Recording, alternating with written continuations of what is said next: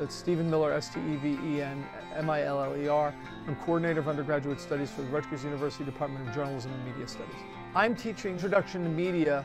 In this, we look at the history of media and its impact on modern day journalism and the modern day media world.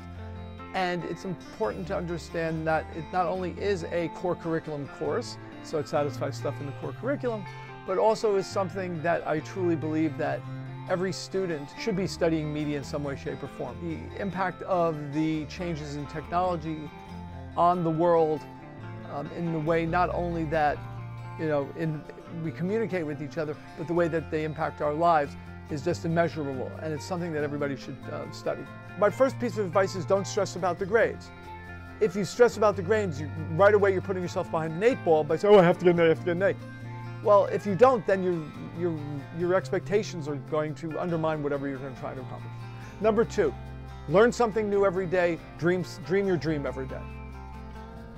You have to learn every day, not just in college, but every day of your life. Try and learn something new. Now, it's funny, people, oh, I'm not going to send my resume in for that internship. Why? Well, I'm not qualified. Well, you never know what will happen. They don't know who you are. Go for it.